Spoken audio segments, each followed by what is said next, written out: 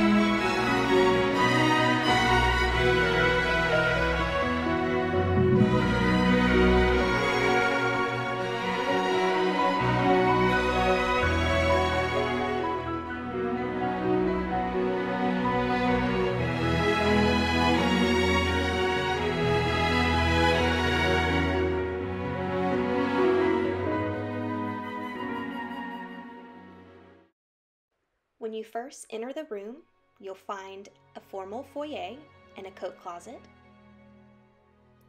along with a guest powder room with a shower, sink, and toilet. In the seating area, you'll find floor to ceiling windows with views of the city, a desk or dining table with seating for two, an L shaped sofa bed ideal for overnight guests or families with children. In the bedroom, you have a king size bed, down pillows, and a duvet, hypoallergenic bedding upon request, plenty of storage space. In the spacious main bathroom, you'll find a walk in shower, separate water closet, and double sinks with a marble vanity top, a separate soaking tub, Dyson hair dryer, bathrobe and slippers, a lighted makeup and shaving mirror.